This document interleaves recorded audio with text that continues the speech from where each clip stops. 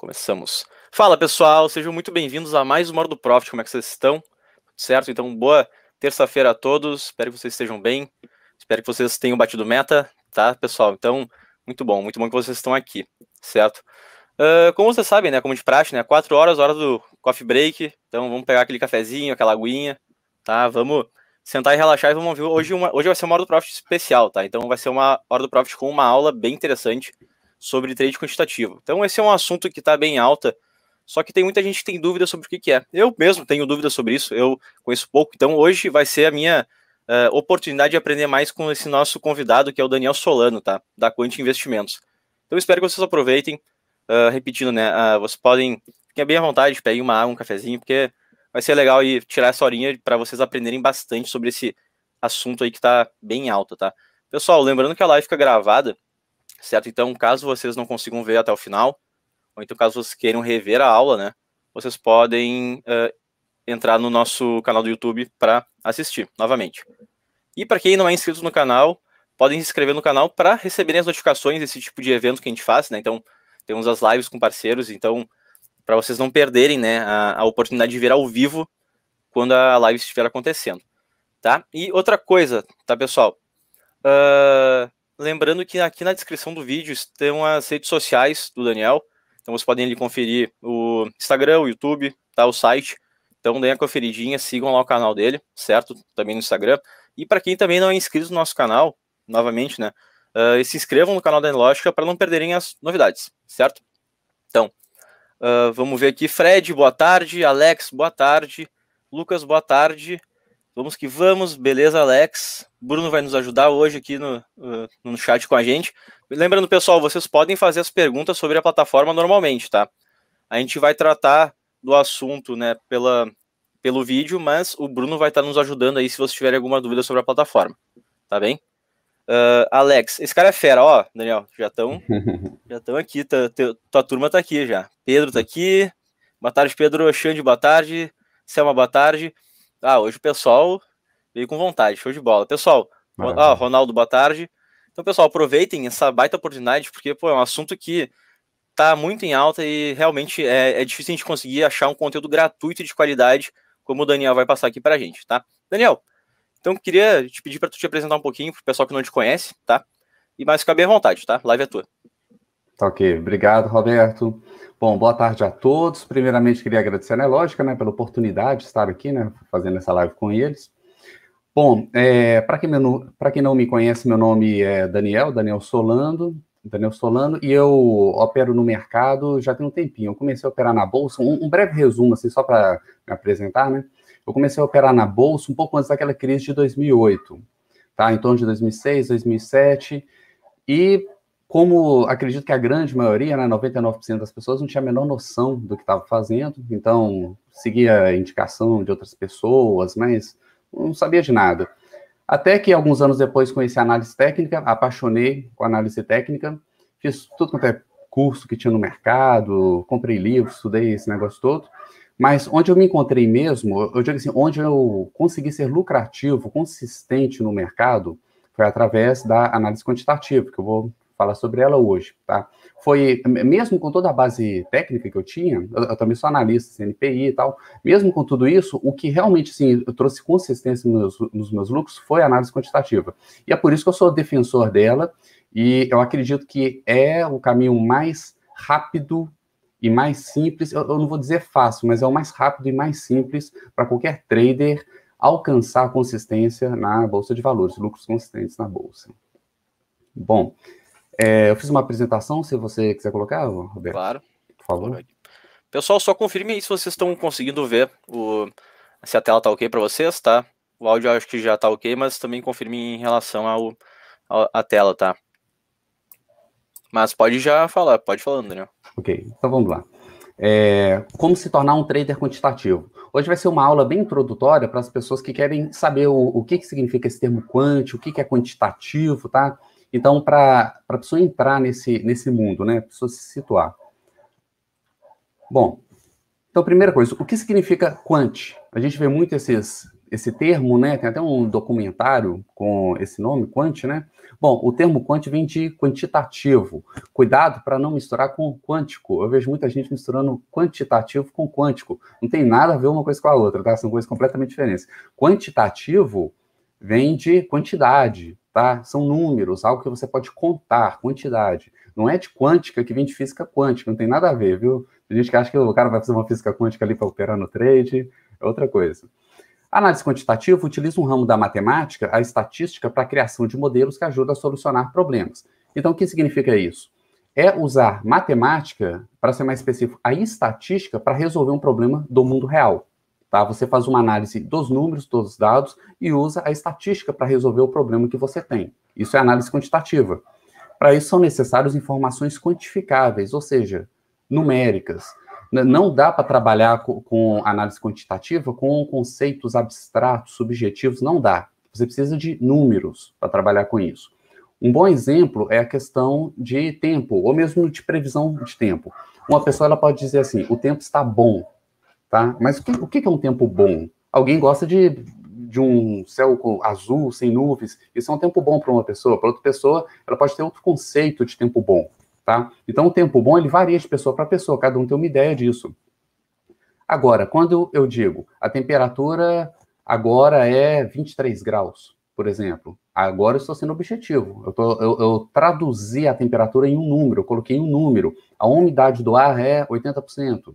Tá? Então, eu estou dando números para descrever aquele tempo, se aquele tempo é bom ou ruim. Bom ou ruim é subjetivo, não, não dá para fazer conta com isso. Mas quando eu tenho o número para representar a temperatura, a umidade do ar, velocidade do vento, esse tipo de coisa, eu posso fazer cálculo com isso. E com esses cálculos eu crio um modelo do clima, do tempo, tá? E em cima desse modelo eu posso fazer previsões. Então, esse exemplo que eu dei, tá? Vamos repetir então. O tempo ele tem características, eu pego, eu pego essas características, transformo em números, com esses números eu estudo esses números e faço previsões baseadas neles. Essa esse raciocínio, essa ideia pode ser aplicada em qualquer área. E uma delas é o mercado financeiro, o trading. Análise quantitativa no trading é utilizar a análise quantitativa para criar estratégias de negociação que sejam lucrativas. Qual a grande diferença da análise quantitativa? Fora dela, tudo é subjetivo, tá? Tudo. Se a gente pegar desde a análise fundamentalista, né, um analista pode pegar um balanço, ler aquele balanço e achar que a empresa é boa. Outro analista pode ler o mesmo balanço, exatamente o mesmo balanço, e achar que não é tão boa assim, não vale a pena investir naquela empresa. Então fica uma coisa subjetiva. Tá? As pessoas falam muito assim: ah, você deve investir em boas empresas. Só que esse boas empresas cai no mesmo problema do tempo bom. O que é uma boa empresa? O que é boa empresa para uma pessoa pode não ser para outra pessoa. Então, a análise quantitativa ela acaba com essa subjetividade. Ela transforma tudo em números e agora vamos trabalhar com números. A partir de tal número eu posso comprar, a partir de tal número eu posso vender. Então, é muito mais fácil lidar com isso e eu posso usar computadores para fazer cálculos e encontrar coisas que, que eu não consigo ver a olho nu ou que o volume de informações é muito grande. O computador faz isso para mim pode ser usado em tudo que é quantificável ou medido. Por exemplo, isso aqui no contexto do trading, né? Preços, então preços são números. A gente pode jogar isso aqui na análise quantitativa e analisar indicadores de análise técnica. Só para dar um exemplo, preço. Vamos supor que alguém tem uma teoria. Sempre que a primeira hora do pregão fecha positiva, o resto do dia é de alta. Tá? Tô, tô, tô inventando aqui um critério aleatório. Tá? Se a primeira hora do pregão o, o preço fechar acima da abertura, o resto do dia também vai fechar no positivo. Agora que eu tenho números, eu consigo testar isso aqui no passado e ver se isso daqui funciona ou não, mas eu preciso desses números, entende? Indicadores da análise técnica, a gente pode jogar no trading também, né? Tem IFR, tem MACD, médias móveis, né? Vários indicadores. Múltiplos fundamentalistas, é uma forma de unir a análise fundamentalista com a análise quantitativa. A gente pode pegar ROI, ROIC, PVP, PL, todos aqueles, todos aqueles indicadores, né? Pode pegar lucro, receita, EBITDA, todos aqueles números e jogar também na análise quantitativa. Taxa de juros, né? Selic. Quando a Selic sobe, o que, que acontece com o mercado? E quando ela cai? E o CDI, e todas as taxas que tem, PCA, câmbio, outra coisa que a gente também pode jogar na análise quantitativa. número de citações nas redes sociais. Já existem algoritmos que eles ficam vasculhando redes sociais, procurando, por exemplo, o nome de uma determinada empresa. Então, um determinado fundo está posicionado numa empresa, e se o nome daquela empresa começa a pipocar nas redes sociais, é porque provavelmente aconteceu alguma coisa importante com aquela empresa. Então, já tem robôs algoritmos que ficam fiscalizando isso, procurando isso, e já acionam um alerta, ó, saiu alguma, alguma notícia importante, e aí eles vão analisar e ver se vale a pena comprar, vender, se vale a pena operar com base naquilo ali. As possibilidades no cruzamento de todos esses dados são praticamente infinitas. Imagina quando você pega tudo isso, isso aqui são só alguns exemplos, e cruza todos esses dados, procurando correlação em tudo isso. Qual dado influencia o quê? Porque na economia está tudo interligado, né? O preço de um de uma empresa, da cotação da ação de uma empresa, está ligado com a cotação da commodity, que está ligado com a situação econômica daquele país que produz a commodity, que está ligado com a taxa de câmbio, que está ligado com juros, que está ligado, está tudo correlacionado. Quando você consegue pegar essas relações todas e transformar isso em equações, você pode programar um robô lá que vai fiscalizar tudo isso e vai operar, que é o que grandes fundos hoje no mundo estão fazendo. E Daniel, uma pergunta. Hum. Como é que tu opta por quais variáveis analisar? Tu escolhe um ativo e aí tu decide as variáveis? Como é que funciona esse processo de, de, de, de pesquisa? Isso é o seguinte, isso vai muito... Primeiro, não tem como estudar tudo, tá? Principalmente nós, pessoas... Os, os fundos, eles cobrem uma grande... Uma, uma, uma gama de variáveis muito maior, né? Mas nós, pessoas físicas, e, e a ideia aqui é mostrar isso, o que, que nós podemos aproveitar disso tá? Do, do, que os fundos fazem e o que nós podemos fazer como pessoa física. Nós temos que escolher uma área. Eu, por exemplo, eu, eu particularmente eu foquei mais na análise técnica com análise quantitativa, tá? Então, dentro da análise técnica, tem critérios ali, indicadores que eu estudo, analiso, faço backtesting e vejo como ganhar dinheiro com aquilo dali. Eu, eu vou falar mais sobre isso mais para frente. Mas a, a, gente tem que limitar o nosso campo aqui de atuação, porque para a pessoa física realmente é um universo de, de, possibilidades, né? A gente tem que escolher um ramo e especializar naquilo ali. Bom, é o tipo de negociação que mais cresce no mundo hoje. E mais cresce não é à toa, cresce por causa do lucro que isso está dando, por causa do resultado que isso aqui está produzindo para os grandes fundos, que os grandes players do mercado que operam isso, né? É usado principalmente por grandes instituições financeiras e fundos de investimento. Aí você pensa, se uma empresa que administra bilhões de dólares investe pesado nesse tipo de análise, eles devem saber o que estão fazendo, né? Eles não devem estar jogando dinheiro fora, né? Então é algo realmente que de valor que a gente realmente tem que estar atento e se inteirar mesmo do que é isso e como que eu posso usar isso a meu favor. Sistemas mais avançados chegam a usar aprendizado de máquina ou machine learning na criação de estratégias e previsão de preços. Isso aqui já é o nível mais avançado que existe de análise quantitativa. É quando você cruza todos esses dados e a, a partir da análise, em vez de ser uma análise humana, né, você um humano olhando ali procurando correlações, não. Você cria algoritmos que conseguem aprender com aqueles números e eles ficam analisando e, e, analisando, analisando, buscando correlações e testando novas coisas tal, até chegar a um ponto de encontrarem é, relações ou correlações entre todas essas variáveis que é inacessível a nós, humanos. É, porque é um mundo de informações, uma quantidade absurda de dados. É humanamente impossível, né? Pessoas analisarem todos esses números e buscarem todas as relações disso aí. Mas o computador, ele consegue, tá? Então, isso aqui é, é o que há de mais avançado no mundo hoje nessa parte de análise quantitativa. Bom, só alguns exemplos para a gente ter noção do, do, potencial disso. Eu trouxe aqui três exemplos, três nomes, assim, autoridades na área. Um deles é Ed Seikota, que é um engenheiro formado no MIT e foi um dos pioneiros no uso da abordagem quantitativa no trading. Isso foi lá na década de 60, 70, quando começou a popularizar o, os computadores, né, nem, nem, exatamente popularizar, né, mas começou a crescer o número do uso do computador, ele foi um dos primeiros a usar o computador para fazer dinheiro, usar o computador no mercado financeiro. Então, na década de 70, ele alcançou mais de 300 mil por cento de rentabilidade em 17 anos de operação.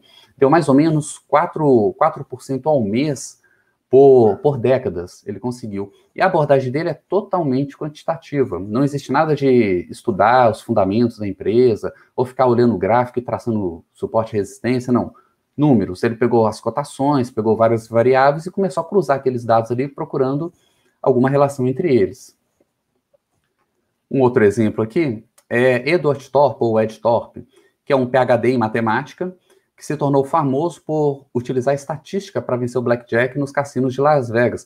Não só o blackjack, esqueci de colocar aqui, a roleta também. Ele, consegui, ele criou um, um microcomputador que ele usava debaixo da roupa para fazer os cálculos da roleta, calcular as probabilidades, e ele vencia. Ele ficou proibido de entrar nos cassinos lá em Las Vegas. Tem um, um livro famoso dele a respeito disso.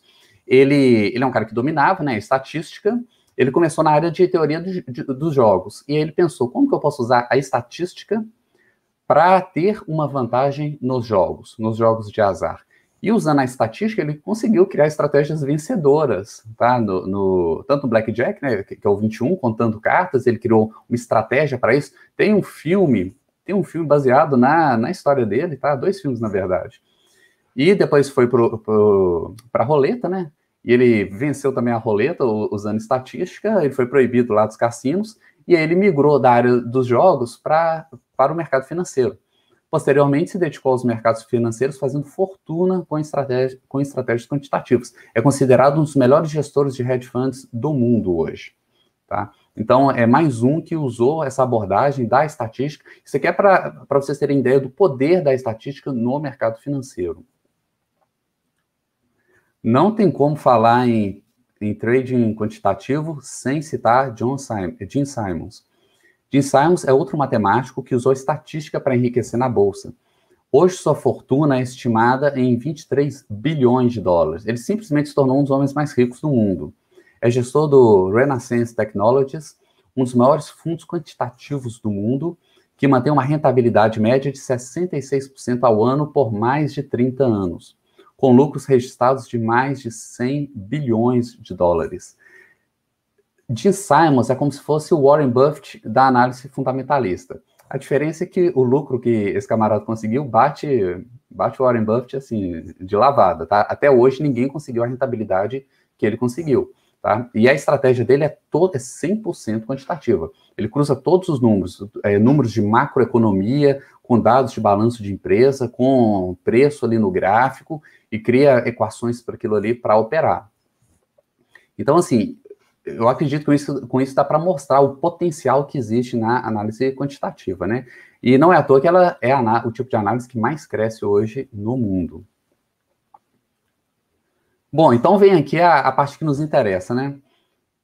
Muito, muito legal esse povo que ganha dinheiro, mas é a gente, né? Como, como que a gente pode ganhar dinheiro com isso? Pois é.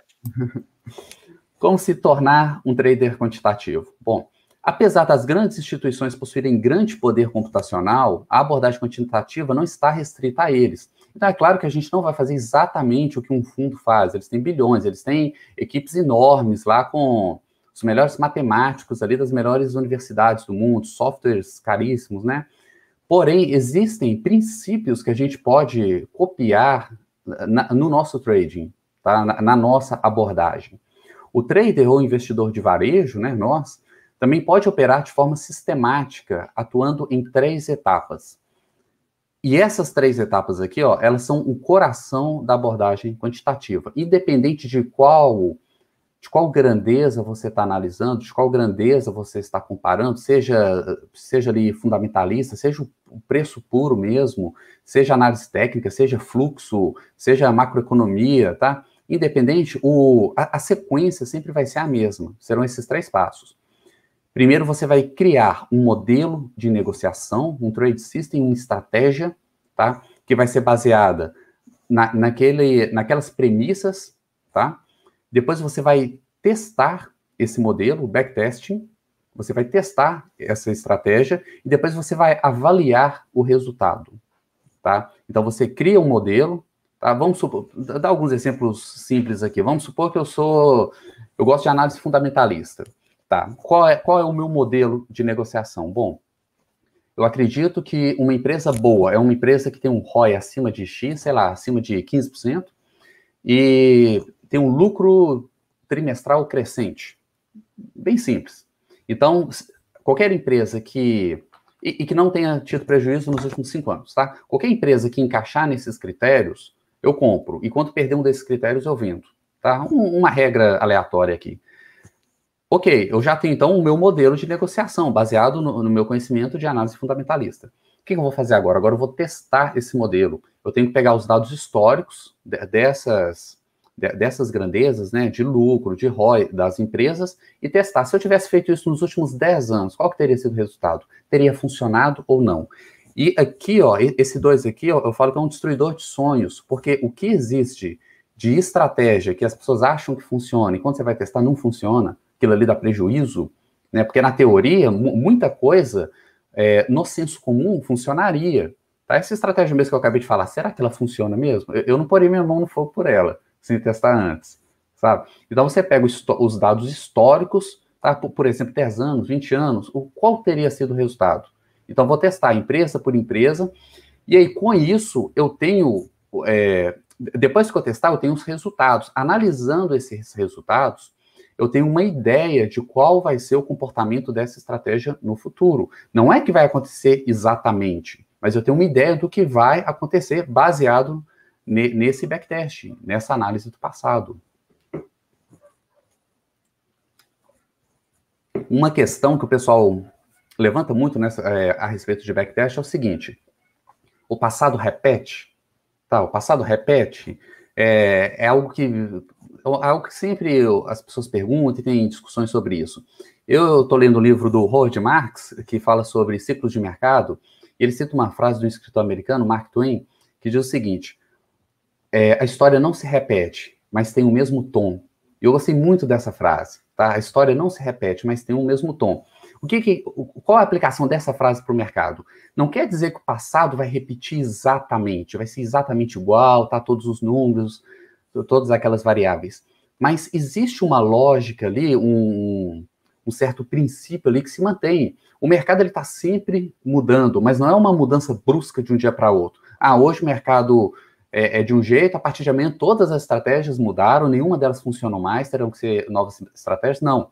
Ele está numa constante mudança, mas é uma mudança lenta e gradual, porque existe uma espécie de, de uma inércia no mercado para mudanças, para grandes mudanças. Então, porque se não fosse assim, nem, nenhuma estratégia funcionaria. Né? Nenhuma estratégia que funcionou no passado continuaria funcionando hoje. Então, existe uma, uma memória do passado, existe uma certa relação do presente com o passado. Não vai ser idêntica, né? Então, o que isso quer dizer? Se eu testei aquela minha estratégia, ela funcionou, por exemplo, nos últimos 10 anos, existe uma probabilidade grande dela continuar funcionando pelo menos durante alguns anos. Tá? É essa é a certeza que eu tenho. Não é que vai dar o mesmo resultado, vai dar exatamente o mesmo lucro mas eu sei que existe uma. A gente está trabalhando com probabilidades, não uma certeza matemática absoluta, tá? Existe uma grande probabilidade dela funcionar, tá?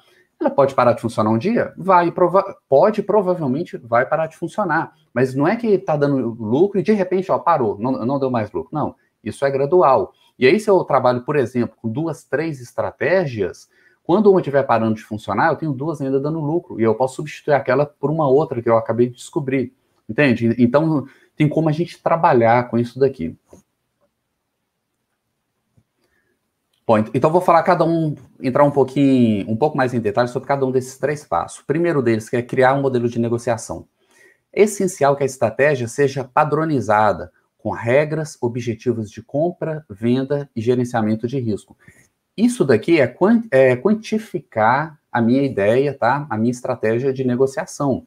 Tá? É muito fácil, né? eu vejo algumas pessoas falando assim, não, é só você comprar quando acontecer isso e vender quando acontecer isso. Mas esse isso é um, um isso completamente subjetivo, sabe? Aí um vai falar, não, aqui aconteceu. Fala, não, aí não aconteceu, não, porque você não tem números, você não tem uma estratégia clara, você não tem uma regra clara. Você tem que pegar a sua estratégia e transformar ela em regras claras, em regras que, que eu posso transformar num número para poder trabalhar com ela. A estratégia, então, é escrita na forma de um algoritmo. Este algoritmo é um modelo que será testado, ou seja, uma regra. Eu tenho que conseguir transformar o meu método de negociação, pelo menos a minha premissa na qual eu me baseio, tá? Transformar isso numa regra clara de negociação, tá? Há inúmeras possibilidades de criação de estratégias. Aqui são alguns exemplos. Modelos quantitativos puros. Um exemplo de, desse, dessa forma né, de, de modelagem é você trabalhar simplesmente com preço ali, por exemplo. Tá? Então, uma estratégia muito comum é o pair trading, onde você pega dois ativos e você estuda matematicamente qual é a correlação entre aqueles dois ativos. Tá? Isso é muito usado em operações de long short. Você encontra dois ativos que andam juntos, você levanta todo o histórico da cotação daqueles dois ativos, e aí você consegue levantar várias variáveis estatísticas aí, desvio padrão, né, o, o máximo de, de, distância ali, de spread entre as duas cotações, e você cria uma estratégia com base nisso, tá? Esse é um modelo 100% quantitativo, totalmente quantitativo. Eu só, quantitativo, eu só usei o, o, o valor ali das cotações, tá? Uma outra forma de criar um modelo é integrando a análise quantitativa com a análise técnica. É um outro exemplo, uma outra abordagem. Por exemplo, padrões de Kendall, tá? Muita gente fala em padrões de Kendall. Vamos pegar, por exemplo, o engolfo de alta, tá? É um padrão autista, tá? Mas quando a gente junta, na análise técnica, apareceu um engolfo de alta, você compra. Pode ter que, dependente de quem estiver ensinando, vai falar, não, você tem que olhar um contexto ali também, que, que também é outra coisa subjetiva, tá? Na análise quantitativa, o que, que você vai fazer? Você quer unir os dois. O que, que você vai fazer? Você vai fazer um levantamento de todos os engolfos de alta daquele papel, daquele ativo que você quer operar. E aí você vai definir uma regra bem clara de entrada, de saída, de stop, de alvo, tá? gerenciamento de risco. E depois que você tiver as regras, você vai testar isso aí no passado, tá? No último ano, nos últimos cinco anos, depende do tempo gráfico que você opera. Qual foi a, a taxa de acerto? Né, que percentual de engolfos de alta realmente atingiu o lucro ou foram estopados? Tá? Isso varia de papel para papel? Isso varia com o tempo gráfico? É esse estudo que você vai fazer e vai levantar. Porque depois disso você vai atuar muito mais confiante naquele padrão de Kendo que você gosta ou não, né? Vai deixar de gostar, dependendo do, do resultado. A mesma coisa você faz com padrões gráficos, setups. Internet está repleta, tem milhares de setups aí, sites cheios de setups. Quais deles funcionam? Quais deles de fato são lucrativos no longo prazo? Tá? Então eu, eu, eu não posso pegar simplesmente setup, ah, assisti um vídeo ali no YouTube, vi um canal, um blog, alguma coisa, ah, achei legal, gostei, ele é muito simples, ele é muito fácil. Tá? Você não pode pegar aquilo e sair operando. Isso é a mesma coisa de jogar cara coroa, você não sabe se aquilo funciona. Né? Por, por, mais que outra pessoa diz que funciona, você tem que testar. É bom você mesmo fazer o teste e ver se aquilo ali é realmente lucrativo no longo prazo, se aquilo se sustenta no longo prazo. Um outro modelo, né, uma outra forma de criar esses modelos é integrando com análise fundamentalista. Tá? Você pode usar múltiplos fundamentalistas para isso. Eu vou mostrar um exemplo para frente. É, o Factor Invest, ele, ele, é um outro exemplo também. Ele integra múltiplos fundamentalistas com dados de macroeconomia para e, e cruza todos esses dados com variação no preço das ações. Então, ele consegue cruzar dados da empresa com macroeconomia e correlacionar isso com o preço da ação. E aí, em que condições o preço da ação quase sempre sobe? Eles conseguem tabelar isso daí e criar regras de negociação baseada nisso. É, uma, um quarto jeito, integrados com dados macroeconômicos, notícias, igual eu falei lá de redes sociais. Então, assim, não existe limite para isso aqui. Você pode trabalhar de forma quantitativa pura ou integrar isso com qualquer outro tipo de análise, com qualquer abordagem. O critério é você cria um modelo, você testa aquele modelo, aquela sua estratégia, e você avalia se vale a pena ou não. Aqui eu trouxe um exemplo do Joel Greenblatt, que ele desenvolveu desenvolveu uma forma simples de ordenar as ações por múltiplos fundamentalistas e assim conseguiu bater a maioria dos fundos de investimento devido aos resultados, nomeou a estratégia de Magic Fórmula. Então ele tem um livro, né? Foi relançado recentemente o livro dele em português, né? Ele fez, ele fez assim, a, a abordagem dele foi extremamente simples. E, e, é olhando esses exemplos que a gente percebe que eu não preciso ter a estrutura de um grande player do mercado para aplicar o mesmo princípio. Porque basicamente o que, que ele fez? Ele pegou dois múltiplos fundamentalistas, tá? É, se eu não me engano, foi o ROIC e o EV sobre EBITDA, se eu não me engano. Ele pegou dois múltiplos. E o que, que ele fez? Ele fez um ranking das ações para o primeiro múltiplo, Tá? Ele pegou, vamos supor no Brasil, vamos supor que a gente vai aplicar a fórmula no Brasil. O que, que a gente faz? A gente pega ali as ações do IBOV, por exemplo, ou qualquer outro índice, tá? Pode pegar o IBRA, se quiser um índice mais amplo, tá? E eu ranqueio todas aquelas ações por um determinado múltiplo fundamentalista. Então, a ação que ficou melhor, ela vai ficar em primeiro. A segunda ação, em segundo lugar. Ok, então ranqueei. Eu pego o segundo múltiplo e ranqueio também. Tá? Então, cada ação ela tem uma posição no primeiro ranking e uma posição no segundo ranking. E aí eu somo, foi o que ele fez, ele somou a posição daquela ação nos dois rankings. Porque ele queria uma ação que estivesse bem nos dois rankings. Então ele soma as posições. E, e ele monta um ranking final, tá? Que é a soma da posição nos dois rankings. É algo que você faz com 10 minutos de Excel. Você puxa os dados, né? Você, precisa, você só precisa saber os múltiplos tá, fundamentalista dos papéis. Hoje tem vários, tem dezenas de sites que fornecem isso gratuitamente. Você só precisa disso. Você pega isso, joga no Excel, ordena, e no final você já tem a ordem lá de quais os melhores papéis para comprar. Com essa regra simples, ele conseguiu uma rentabilidade maior que os principais fundos de Wall Street. Tá? Só que ele fez isso, se eu não me engano, na década de 80 ou 90. Tá? que ele fez isso? Lá atrás, uma forma super simples que qualquer pessoa também pode fazer. Agora, o que, que nós podemos fazer? A gente pode testar com outros múltiplos, a gente pode combinar mais múltiplos, a gente pode colocar alguma variável ali que diz respeito ao Brasil, por exemplo. Assim, a criatividade é o limite aqui. Não existe assim um, caminho, ó, você só pode fazer desse jeito. Não. O que você pensar que pode ter correlação, desde macroeconomia até o nome da empresa em rede social, sabe? O que você pensar, você cria a sua ideia, transforma aquilo ali em regras que podem ser testadas e testa, tá? E isso nós boa parte disso nós podemos fazer, tá? Acesso a nós, tá? Bom, depois que eu já criei a minha estratégia, já criei o meu modelo, tá? Com regras claras, com regras que podem ser testadas, que não é nada subjetivo, né? Vem a segunda etapa, que é testar esse modelo, tá? Que é o backtesting. Agora vamos testar o nosso modelo utilizando dados históricos. Então, aqui já fica subentendido que eu preciso do histórico daquele papel para eu testar se aquele modelo funciona ou não. A cotação dele hoje não é suficiente para mim, eu preciso saber do histórico de cotação. Se eu estiver analisando fundamentalista, fazendo uma análise fundamentalista, eu preciso do histórico dos dados fundamentalistas. Se eu estou fazendo análise técnica, eu preciso do histórico do gráfico daquele ativo no tempo, tá? Então, eu preciso dos dados históricos. Muitas vezes, o mais difícil para nós termos acesso é isso aqui, ó os dados históricos daquele ativo. Às vezes, não tem jeito, vou ter que pagar para uma base de dados, alguma coisa assim, sabe? Muitas vezes, é aqui que está a dificuldade da pessoa física em testar nos dados históricos. Bom, aqui, foi o que eu disse antes, aqui ilusões são destruídas e temos contato com a realidade de mercado.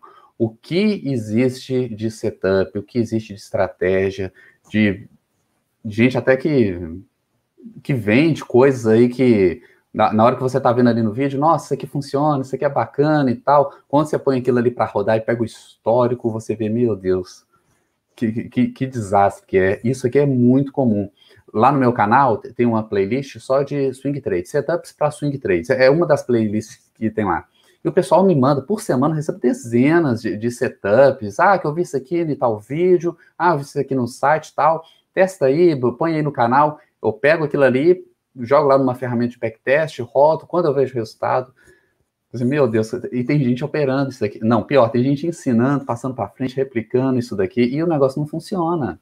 Né? A pessoa pega um, dois exemplos que deu gain, mas não pega o histórico daquilo ali depois de 100 trades, depois de 5 anos, 10 anos operando aquela estratégia. Tá? E só testando para saber isso. Porque tem muitas estratégias que assim, usando bom senso, parece que vai funcionar, faz todo sentido, tá? Mas quando você vai testar mesmo, você vê, hum, não deu lucro, não funcionou. E outras que são tão simples, tá? Tão simples que a gente até duvida, será que esse negócio é lucrativo? Quando a gente faz o teste ali, dá um resultado tão bom, faz assim, poxa, quer dizer que eu não precisava usar 10 mil indicadores aqui no gráfico para ter lucro? O único indicador eu consigo ser, eu consigo ser lucrativo, ter, ter lucro consistente no, no mercado, sabe? Então, isso aqui é fantástico, gente. O backtest pode ser feito de forma manual ou automática, ou automática com softwares específicos. Então, tem várias maneiras de se fazer. Você pode fazer na mão mesmo, tá? Você pode abrir o gráfico ali, se for gráfico, né? Pode ser fundamentalista, como eu disse, né? Você pega seus dados ali, abre uma planilha de Excel, tá? Você vai julgando, ó, eu teria comprado em tal data e teria vendido em tal data. Qual que foi o lucro ou prejuízo no período, tá? Depois eu teria comprado e aí vai repetindo, repetindo. Depois que você já tem um, um número considerável ali, você já sabe se aquilo ali é lucrativo ou não no longo prazo. É claro que existe uma análise mais detalhada, vou até falar um pouquinho sobre isso, né? De, desses dados, mas você pode pegar isso aí, jogar no Excel, criar um gráfico, você pode fazer um raio-x dessa estratégia e ver realmente se, se vale a pena operar aquilo ou não. Um exemplo aqui de backtesting, né? É Thomas Bukowski. Eu adoro esse exemplo, porque esse cara aí, eu tiro o chapéu para ele, viu? Porque o cara fez um backtest gigantesco numa época que não existiam tantos softwares como hoje. Ele catalogou o resultado de dezenas de padrões gráficos por mais de 20 anos em centenas de ações americanas. E escreveu um livro, né, o Encyclopedia of Chart Patterns, onde ele é, é um catálogo, tá? Por exemplo, ombro, cabeça, ombro, funciona ou não?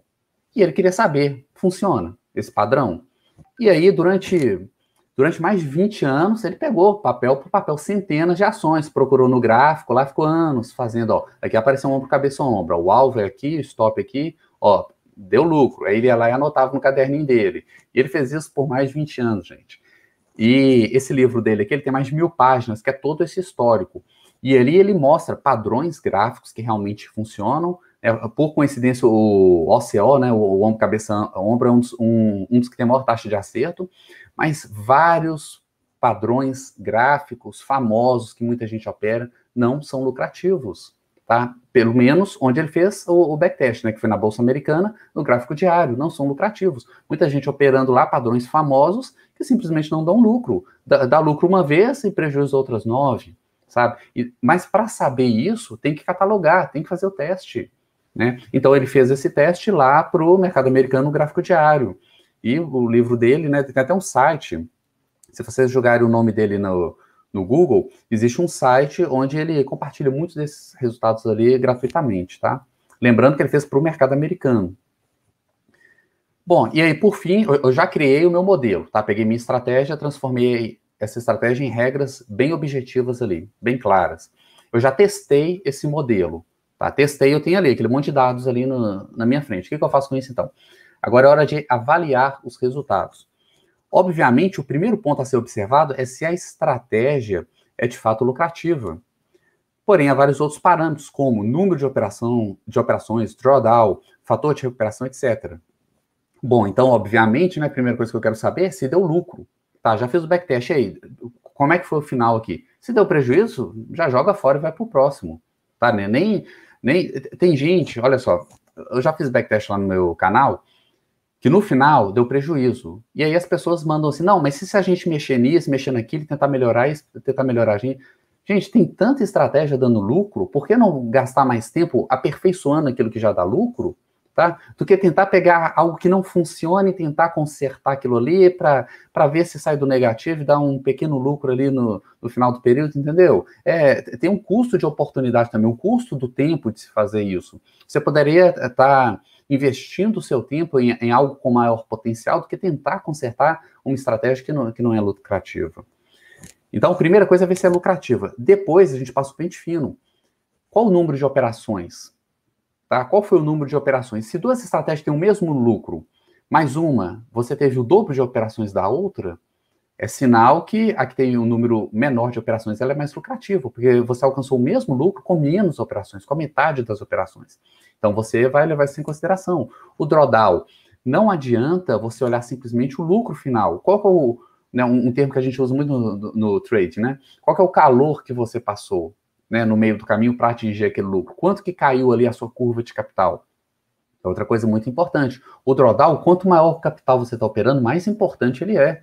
Né? Se eu coloco 100 reais na bolsa, ah, se eu perco 50%, perdi 50 reais, tá, é ruim, mas não é o fim do mundo. Agora, o cara põe 100 mil, ele perde 50%, tá perdendo 50 mil reais. Ó, olha que diferença. Então, quanto maior o capital, mais importante é ficar atento para isso, para o drawdown. É, fator de recuperação é outra, outra métrica também importante que compara o lucro, o lucro final tá, do período com o drawdown do meio do caminho, com o calor que você passou. Eu quero lucro, mas eu não quero passar calor. Eu quero quedas pequenas no meio do caminho. Então, é, é, é isso, essa métrica que vai avaliar esse tipo de coisa. Tem várias outras métricas, tá? Aqui já é a parte de, de detalhar essa análise. Antes de operarmos em conta real, temos que verificar todos os detalhes, tá? O, o backtest, simplesmente olhar se deu lucro ou prejuízo, isso é só a primeira etapa. Não é, não é assim, ah, olhei, deu lucro, vou operar. Não, calma, peraí. Como foi feito esse backtest? Tem certeza que foi feito corretamente? Passa o olho de novo, olha os parâmetros, olha se lá no gráfico bateu certinho com, com suas regras, se ele se realmente sua regra ali está funcionando ali no backtest, olha se não tem nada ali escondido por trás daqueles números, tem que fazer uma análise cuidadosa. Aqui, por exemplo, avaliando os resultados. Do lado, do, dos dois lados, eu tenho dois gráficos aqui, né? O que, que é esse gráfico? Esse gráfico é uma curva de capital, tá? Com os trades. Então, tem um, dois, três, três, quatro, cinco, até 987 trades aqui, e aqui eu tenho 545 trades. Trade a trade, eu fui formando o meu gráfico. Isso aqui você pode fazer na mão, você faz no Excel, numa tabela lá e depois cria o gráfico, ou tem ferramentas próprias que geram esses gráficos aqui, a curva de capital, tá? E aqui eu tenho o capital. Ambas as estratégias começaram com 100 mil, tá? Isso aqui são cinco anos de backtest. A estratégia 1, olha o que aconteceu ao longo de cinco anos. É uma estratégia, a, a princípio, é claro que tem outros detalhes para olhar, mas a princípio, olhando o gráfico aqui, é uma estratégia boa, uma estratégia lucrativa. Teve umas quedas no meio do caminho, e essas quedas aqui, aqui vem um ponto de, de atenção, talvez o principal, com certeza é um dos principais, e talvez o principal problema do trader iniciante é o seguinte: ele pega uma estratégia como essa, que é uma estratégia boa, uma estratégia é, positiva, lucrativa, só que quando ele começa a operar, ele tanto pode começar a operar nesse ponto, quanto ele pode começar a operar nesse ponto no topo. E aí, se ele começa nesse ponto e começa a perder, perder, perder, o que, que ele faz? Depois de pouco tempo ele fala, ah, esse negócio que não dá lucro não, ele para de operar. Aí ele sai dessa estratégia. E aí ele vai para outra estratégia, ele começou aqui, ó, em outro topo da outra estratégia. Aí ele vai operar, operar, deu alguns dias de prejuízo, ah, essa estratégia também não funciona não, vou para outra. E aí o cara fica pulando de estratégia em estratégia nunca tem, tem lucro, pegando só os piores momentos de cada estratégia, tá? Para saber, assim, não é para saber, mas assim, para alcançar a consistência, você tem que escolher uma estratégia que foi testada, uma estratégia robusta e tudo mais, e ser fiel a ela. Você não pode ficar pulando de, de, de estratégia em estratégia. Isso você nunca tá? Eu, eu, falo de experiência própria, gente. Eu mesmo fiquei muito tempo pulando de técnica em técnica, estratégia em estratégia. Ah, agora eu vou operar fundamentalista. Não, agora é fluxo. Não, agora é técnica. Agora é isso. Agora é aquilo.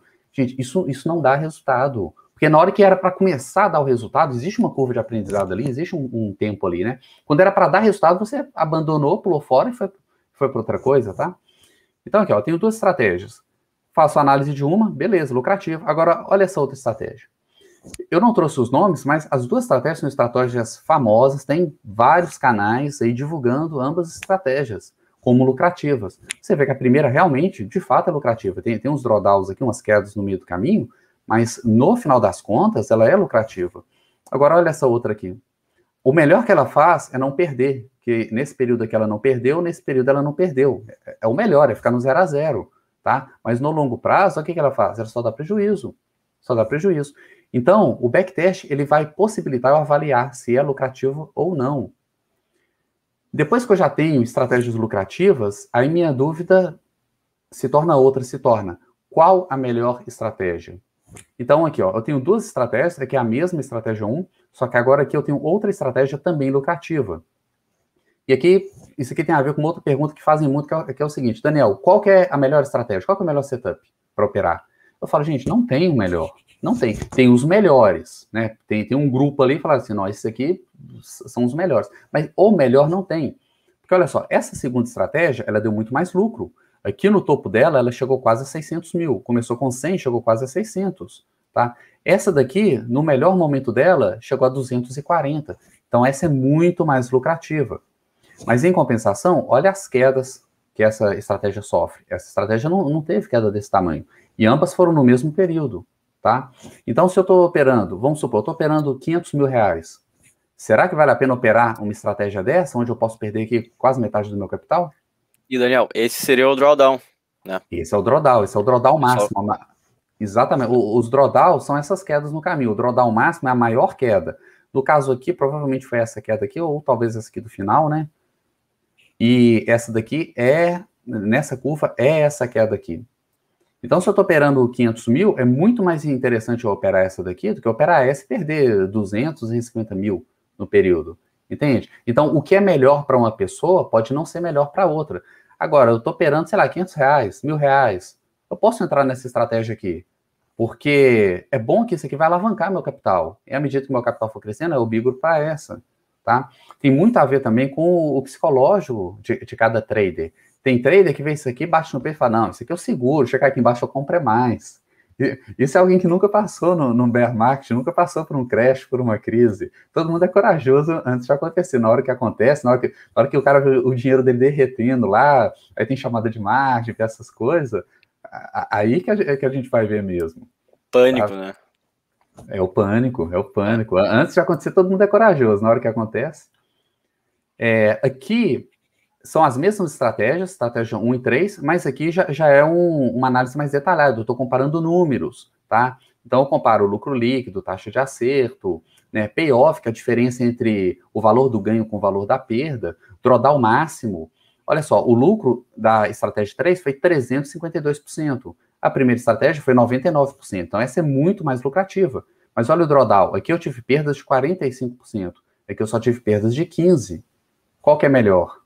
Depende. Depende da situação de cada um, do perfil de cada trader. Não existe a melhor absoluta.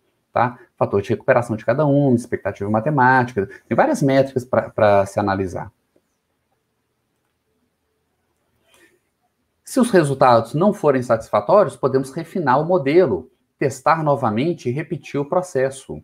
Então, eu posso pegar essa daqui, por exemplo, e eu falo assim, não, eu quero essa lucratividade, mas eu não quero esse drawdown. É possível? Eu posso tentar, não sei. Posso tentar, posso tentar colocar filtros, posso tentar mu mudar aqui as regras para tentar melhorar.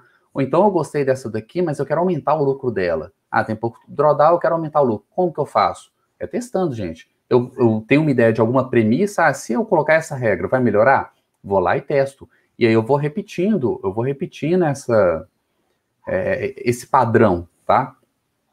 Cuidado com overfitting. O, overfitting é assunto assim para outra outra live, tá? Que é, é, um assunto muito amplo. Mas o que é overfit? Cuidado com o overfit, ou seja, criar um modelo que só funciona no passado. O que quer dizer isso? Se eu pego uma estratégia e crio regras demais, é, é possível eu, eu, colocar tanta regra numa estratégia, tanta regra, que no final das contas eu, eu tenho uma linha, uma linha retinha, parece, parece, uma renda fixa na renda variável, tá? Uma, uma reta assim para cima de lucro. Mas é algo que só funciona no passado. Se o mercado mudar uma vírgula, já não funciona mais, aquela retinha assim, ela, ela vem para baixo. Tá? É, vira uma máquina de, de rasgar dinheiro. Então, quando eu crio uma estratégia que funciona perfeitamente para o passado, Tá? E isso é exatamente a definição de overfit. Funciona para o passado, mas não tem utilidade nenhuma para o futuro. De forma geral, quanto mais detalhes e regras e parâmetros tiver na minha estratégia, maior a chance de overfit. Quanto mais simples for a minha estratégia, menor o número de indicadores, menor, menor o número de variáveis, é, mais robusta essa minha estratégia. Quais são as vantagens, então? Já chegando no final, quais são as vantagens dessa abordagem? ausência de subjetividade na análise, e isso aqui, na minha opinião, é uma das maiores vantagens. vantagens. Não é aquela coisa que um acha, ah, agora é compra, o outro, não, é venda. Duas pessoas estudam o mesmo livro, o mesmo material, uma acha que é compra, o outro acha que é venda. Como assim? Né? Então, não existe isso mais. Ausência do viés emocional, tá? Principalmente o pessoal que faz o day trading, né? O, eles sabem como que isso né, afeta o, o, nosso estado de espírito, né, as nossas emoções, é muito forte. Com essa abordagem não existe isso, porque você não faz análise ali online, na hora, você simplesmente segue, segue as regras. Você opera como se fosse um robozinho, deu entrada, compra, deu saída, vende. Tenho, lá no meu canal também tem uma playlist de, de um projeto que eu estou fazendo, que eu opero todo dia swing trade. Eu compartilho ali as operações que eu fiz no dia. E o pessoal vê, gente, não, tem estresse. É entrar, eu abro, eu só opero no final do pregão, tá? Então abro ali a plataforma, 10 minutos, deu entrada no, no Chart mesmo, deu entrada, deu, compro. Eu uso aquele screen, né, do, do Profit, rodo o screen, me mostra as entradas. Deu entrada? Beleza, vou lá e, e, compro. Ah, mas aqui a entrada é no topo anterior. Não, não interessa. O modelo mandou comprar, eu compro. Não, não tem análise subjetiva ali na hora, ah, mas essa empresa deu prejuízo, o último balanço foi ruim. Não interessa. Eu já fiz a estratégia, eu já fiz o backtest daquela estratégia e sei que funciona. Tá? Deu saída, deu no stop? Stop. Simples assim, opero. Comprei, vendi, pronto, fecha a plataforma. Só amanhã agora, tá? 10 minutos por dia, super simples, nem precisa passar o dia inteiro na frente do computador. Esse ano, em quatro meses, a gente está com 20% de lucro, só com operações de swing trade, 20%, tá? É sorte? Não. No início do projeto eu compartilhei lá o, o backtest da estratégia. É o esperado daquela estratégia. Foi assim que ela se comportou há, há mais de 10 anos. Então, esse é o esperado. Eu não sei, por exemplo, quando eu comecei o projeto, no primeiro mês, eu não sei se o primeiro mês ia fechar positivo ou negativo. Porque eu não sei em que ponto dessa curva, né? Aqui, por exemplo, não é essa curva, mas vamos supor que fosse. Eu não sei que ponto eu vou começar. Eu posso começar no topo ou no fundo. Então, no primeiro mês eu não sei se vai fechar positivo ou negativo. Mas com certeza eu sei, depois de três, quatro, cinco meses, eu vou, estar, tá, eu, eu vou estar positivo e vou só, só acumulando os lucros, tá? É, você não precisa desenvolver um feeling de mercado, o famoso virar a chave para se tornar consistente nos lucros. E esse aqui, para mim, é o, é o ponto principal da abordagem quantitativa. Na análise técnica, por exemplo, você estuda, estuda, estuda, estuda. Quanta gente fez vários cursos e ainda não é lucrativo. Por quê? Porque não desenvolveu esse feeling de mercado. Na análise técnica, você precisa enxergar além do, do daquele beabá que está nos livros. Você te, tem que olhar além. E você é o tempo sabe. de tela, né, Daniel? O famoso tempo de, tela. tempo de tela. Só que é tempo de. O pessoal fala só tempo de tela, só que é o tempo de tela mais aptidão. Ninguém fala da aptidão. É, já, já conheci gente com pouco tempo que ficou super lucrativa em meses e gente que não é querendo desanimar ninguém, mas gente com mais de 20 anos de análise técnica que ainda não é lucrativo, sabe? E você nunca sabe o tempo que você vai demorar para alcançar esse lucro. Pode ser poucos meses, pode ser décadas, né? Na abordagem quantitativa não existe isso. Você fez o teste ali, você sabe que a estratégia é lucrativa, você já começa consistente, tá? Você não tem esse dia, ah, um dia que eu virar a chave. Não, você vira a chave no teste lá, passou no teste, pronto. Você já começou consistente. Outra vantagem, né, para quem gosta, a possibilidade de automatizar as operações. Igual eu tinha um amigo que brincava, né? Ah, vou ligar meu robô e vou para a praia, né? Já, que são regras bem objetivas, você pode programar um algoritmo, um robozinho ali, né, para fazer as operações para você e ficar tranquilo, né?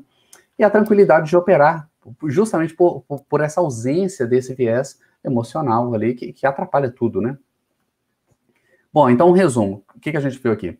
A abordagem quantitativa é a maneira mais rápida de se alcançar consistência ao se investir na bolsa, tá? Porque você já começa consistente, você não espera esse dia da virada de chave. E você deve seguir sempre a sequência abaixo. Cria um modelo de negociação com regras claras e objetivas, tá? Teste o modelo e depois de testar, avalie o resultado. Basicamente, é esse princípio aqui ó, que tem que nortear a sua atuação. Seja operando de forma quantitativa pura, seja com análise técnica, fundamentalista, com fluxo, com qualquer coisa, com, sei lá, fases da Lua, qualquer coisa que você fizer, faz o teste. Ah, quero operar fases da Lua. Beleza, faz o teste então, faz o backtest, se funciona ou não. E o mais importante, jamais opere uma estratégia que você não testou. Se vocês podem esquecer essa, essa live todinha, essa frase aqui vocês não podem esquecer tá? Jamais opere uma estratégia que você não testou. Ah, mas fulano, é fulano é alguém conceituado e diz que isso funciona e que opera isso há tantos anos e já fez tanto dinheiro. Gente, vai nessa não. Pega a estratégia do cara e testa lá para ver se realmente dá aquele resultado mesmo, sabe? Só depois de fazer o teste e ver que realmente aquilo ali dá lucro, que aquilo é consistente, é robusto, aí você põe seu dinheiro. Afinal de contas, dinheiro não nasce em árvore, né? Pelo menos o meu não, né? é, pois é. Uhum. Tem gente que acha, né? Mas infelizmente não. Pois é. Bom, basicamente então é isso. Fantástico, Daniel. Bah, eu que não conhecia muito sobre esse método, fiquei arrepiado, porque é o tipo de coisa que, como a gente falou né, logo no início, tá em alta, né? O pessoal tá buscando mais esse tipo de conteúdo. Então é um, um trade mais fundamentado, de certa forma, né? Muito mais do que um, um operador de análise técnica ou análise de fluxo. E para o pessoal que está conhecendo aqui com a gente, muito bacana. Fantástico, Daniel. Porque Legal. é o tipo de assunto que a gente realmente é, tem essa ideia de passar essa parte introdutória, né? Que tu passou para a gente aí com maestria, tá? Então, o pessoal que tiver mais interesse, né? Uh, pessoal, que vocês querem mais, conhecer mais sobre trade quantitativo, sigam lá o Daniel nas redes sociais, tem o canal dele, o Instagram, do YouTube e também o site aqui na descrição do vídeo, tá? Então, não percam tempo, porque esse é um assunto muito bacana. É. Uh, todos os dias, só, só, uma observação, todos os dias eu tô lá no Instagram, o pessoal manda perguntas, eu sempre deixo a caixinha de. Quer caixinha de perguntas abertas, né? Então pode mandar a dúvida lá, pergunta. O que eu souber eu respondo, o que eu não sei, eu falo, não, isso eu não sei, né? Não, não vou mentir enganar os outros, né? Mas tá sempre aberta lá a caixinha, então pode mandar dúvidas lá. É, tem vários setups com, com backtest detalhado lá no meu canal de várias estratégias para swing trade, para position, operando ações, operando mercado americano, operando commodities, operando criptomoedas. Tem o projeto que eu falei também de swing trade lá, é, onde todos os dias, no, logo após o fechamento do pregão, é um vídeo gravado. Então, logo após o fechamento do pregão, eu compartilhei quais foram as entradas, quais vão ser as entradas e, e saídas, né, para o dia seguinte, para a abertura do dia seguinte. Então, tem muita coisa boa lá. Bacana, Daniel. É, até acho legal, de repente, uh, sair um pouco do protocolo aqui, o uh, que, que tu acha que seria uma variável para o pessoal pegar assim só para né, ir, ir, olhando uma talvez um ativo com alguma variável específica que eles possam acompanhar assim só para fazer em casa depois como um, um tema dever de casa, né? O que, que não, tu acha? Não, assim, ó, é, por exemplo, o que, que pode fazer? Pode pegar um setup qualquer, ah, meu setup favorito, não estou falando eu não, tô falando, uh, pessoa de casa, né? Pega é. seu setup favorito, vamos supor, vou pegar dois casos aqui, ó, técnica fundamentalista, técnica. Pega a sua hum. estratégia favorita, faz o backtest dela, se você ainda não fez. Pode ser na mão mesmo. Abre uma planilha Excel, pega o. Sei lá, eu opero. Acredito que tem muita gente que faz day trading, né? Ah, eu índice, opero. Talvez. O índice é. Opero no índice, beleza. Pega o histórico do índice, tá? Você opera no intraday. Então pega aí três meses. Três meses dá para começar a considerar. Já, já é um backtest que você pode começar a considerar o resultado. Pega três meses aí e vai anotando. Planilha. Ó, teria entrado aqui saído aqui qual, qual, que foi é, o lucro ou prejuízo? Ah, menos 100. E agora? Mais 200. E agora? Tal, tal, tal. Aí você põe as datas e, e põe ali o resultado de cada um. E soma tudo no final. Ou então, dependendo do, seu conhecimento de Excel, pega essa coluna e monta um gráfico, um gráfico de linha, igual, igual esse gráfico que eu mostrei. Você vai ver o drawdown da estratégia, você, vai ver se ela é, é, se ela é estável ou não, se ela simplesmente um zigue-zague, um dia dá lucro, prejuízo, lucro, prejuízo, no final, da, no final das contas fica zero a zero e você só pagou custos, corretagem, custo bolsa, com aquilo dali, tá? Então, esse é um caminho, né, quem aí da, da análise técnica. Quem gosta de fundamentalista, pega um múltiplo que você gosta e fa faz um backtest. Se eu tivesse comprado esses papéis com esse múltiplo lá atrás, não é o múltiplo hoje, tá? Porque hoje, se eu olhar que aquele múltiplo tá bom, não quer dizer nada. Lá atrás, no início, quando, quando mudou o número. Se eu tivesse comprado, qual seria o resultado hoje? Então, assim, tudo dá para testar, tudo. Bacana. Uh, pessoal, uh, imagino que vocês tenham batido meta, né? Mas a gente também tem que bater a nossa. Então, quero ver aí vocês uh, apertando esse like, tá? Que nos ajuda bastante também. Tá certo? Daniel, uh, a gente chegamos aqui no nosso horário, mas não sei se tu quer fazer alguma outra. Uh, finalizar aí pro pessoal, dar algum recado. Quiser passar também, avisar alguma questão do, sobre algum curso ou algo que tu tenha. que tu queira divulgar pro pessoal, fica à vontade. Ok. É, mais ou menos uma vez por mês, uma vez cada dois meses, eu abro vagas para uma mentoria. Mentoria é um treinamento individual, tá? E assim, ele é limitado, porque não tem como atender muitas pessoas, né? Principalmente porque ele é, ele é individual. Então, abro vagas para mentoria, vocês podem entrar no site quantinvestimentos.com.br, tem um link aí na descrição, e fazer inscrição lá para. Não é para fazer mentoria, mas é mostrando interesse, tá? Porque aí você vai receber o um e-mail quando eu abrir as inscrições. Geralmente acaba bem rápido. Tá? E é uma mentoria focada em swing trade, em montagem de carteira, tá? principalmente o pessoal que quer operar com uma quantidade maior de dinheiro e mais longo prazo. Tá? Tem, algum material para curto prazo também no canal, mas essa mentoria é mais focada para isso. Aquela, aquela pessoa, é aquele perfil da pessoa que tem o um emprego dela, ela trabalha o dia inteiro, ela não pode ficar o dia inteiro na frente do computador, ela só faz operação à noite, ou quando chega em casa, ou na abertura do mercado, tá? e montagem de carteira também. Então, pode cadastrar lá que mês que vem, em julho, vai abrir a próxima turma.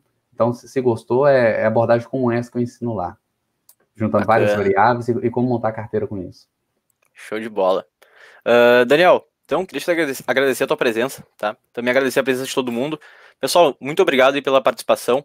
Uh, se ficaram com alguma dúvida também, vocês podem entrar em contato com a Nelógica ou também em relação ao conteúdo falar com o Daniel, tá? Então os contatos novamente estão ali na descrição, tá certo? Quem tem alguma dúvida sobre plataforma, tá, pessoal? Lembrando que a nossa nosso suporte técnico fica disponível 24 horas por dia, tá certo? Então, qualquer coisa, vocês podem ainda entrar em contato com a gente depois da hora do Profit, tá bom? Daniel, então, novamente, muito obrigado. Pessoal, agradeço, até a próxima hora do Profit. Tchau, tchau. Obrigado. obrigado. Tchau, tchau.